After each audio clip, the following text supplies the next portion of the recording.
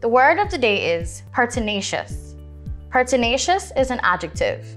Pertinacious is spelled P E R T I N A C I O U S. Pertinacious. Pertinacious is pronounced pertinacious. Pertinacious means someone who is stubbornly unyielding. For example, the pertinacious actress chained herself to a tree to bring attention to her environmental fight. Pertinacious.